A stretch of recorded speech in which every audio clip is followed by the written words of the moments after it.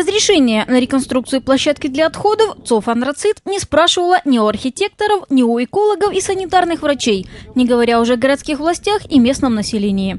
До ближайших домов около 500 метров. Жители поселка Ханжонково-Северный опасаются.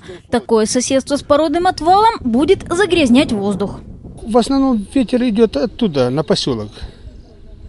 Вот я инвалид и пенсионер на этой, от этой шахты. И дышать этим отходами этими очень хорошо.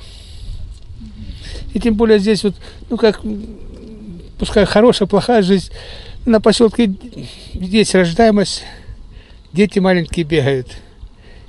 И чем они дышать будут? Население поселка не согласно с тем, что производственные отходы шах, э, обогатительной фабрики ЦОФ «Антрацит» будут сюда вывозить отходы своей производственной деятельности, которые э, способны самовозгораться и очень перенасыщены сероводородом. Антрацит уже однажды нарушила правила складирования породы.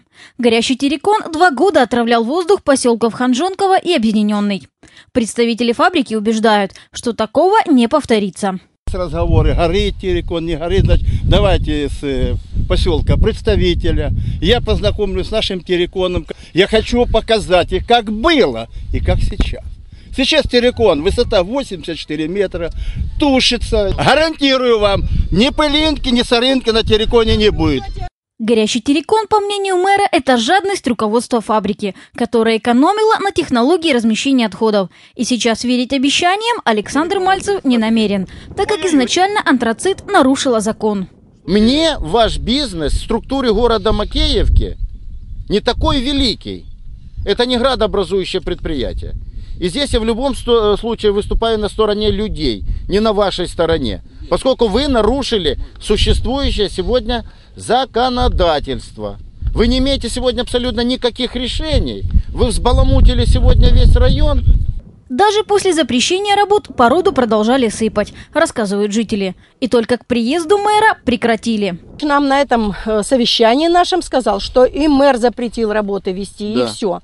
Я еду назад, возвращаюсь, работа кипит. От рассвета до заката. Даже по субботам работают здесь и воскресеньям. Так к чему эти темпы?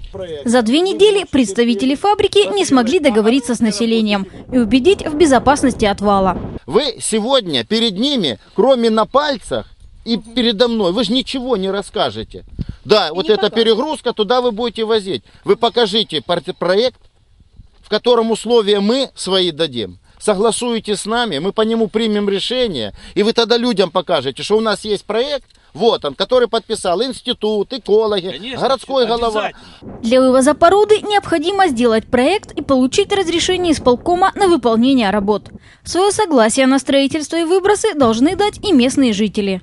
Теперь контролировать действия отцов антрацит будет Макеевская прокуратура. Елена Семенова, Владимир Ребриков, Панорама.